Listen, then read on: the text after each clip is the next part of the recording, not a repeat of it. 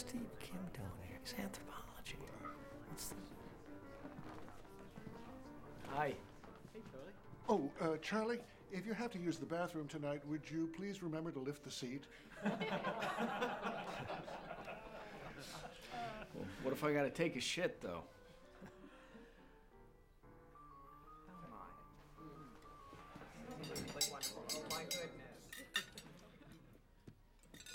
Congratulations on a wonderful beginning to the spring semester.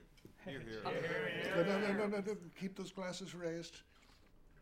Before we go on the spring break, I want to share with you all a little secret that Professor Slocum and I have been keeping from you.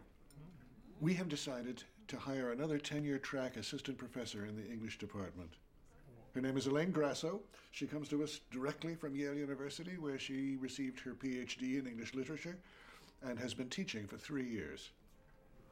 Believe me, we are very lucky to get her. I hope you will all welcome her with open arms and open minds. Now, enjoy the evening and enjoy your spring break. Cheers. Oh. Charlie, this is an antique. Sorry, excuse me.